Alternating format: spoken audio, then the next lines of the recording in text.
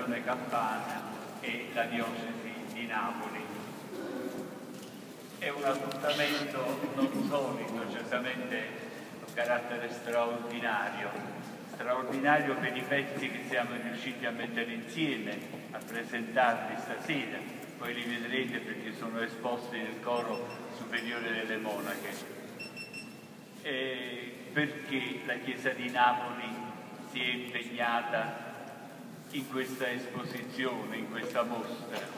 Certamente è una mostra che ha un grande valore scientifico, perché noi come museo non curiamo l'attribuzione a Leonardo o ad altri di una tela o di un capolavoro e so che i critici sono alcuni contrari, alcuni favorevoli, Certamente è favorevole all'attribuzione di Leonardo il più grande critico di nomea internazionale che è Carlo Pedretti e se Carlo Pedretti dice che è un'opera di Leonardo probabilmente c'è da crederci.